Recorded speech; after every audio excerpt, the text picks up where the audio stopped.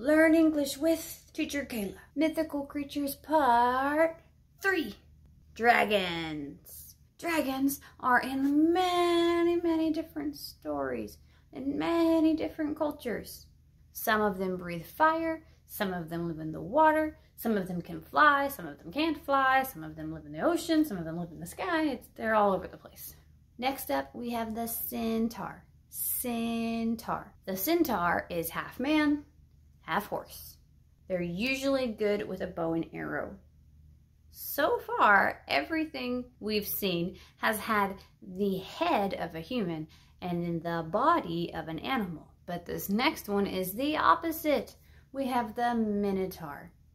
And the minotaur has the body of a man and the head of a bull. They're very scary. In video games and movies, they usually will have a very big weapon, like an axe or maybe a hammer. Finally, we have this one here, the faun. The faun is half man and half goat. He has the upper half of a man and the bottom half of a goat. They like to play music. They're usually very kind and in many, many different stories, they help the hero in some way or another. I hope you enjoyed this video and I look forward to seeing you again soon. Bye.